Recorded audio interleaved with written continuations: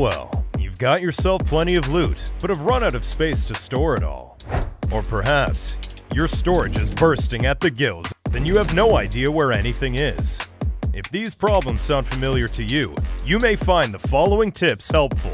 By freeing up storage space and expanding your storage, you'll be able to evacuate with a full load of loot from the Arena Breakout. In the storage screen, simply tap on the Quick Organize button in the upper right corner to organize your storage in a flash. What Quick Organize does is group together supplies of the same type in this order weapons, equipment, medical supplies, and miscellaneous items.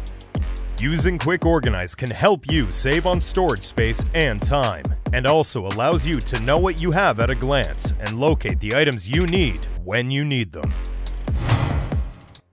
Find Avita in your contacts to trade supplies for containers. Each container requires different types and amounts of supplies. But you can also use Koen to buy whatever you don't have immediately. Some containers only unlock at higher levels.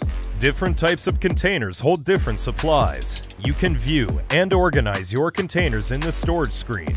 But there is a limit to how many containers can be active at a time, so buy what you need only. There are other ways to put more supplies in limited space. In the game, the space occupied by the backpack and the rig doesn't equal their capacity.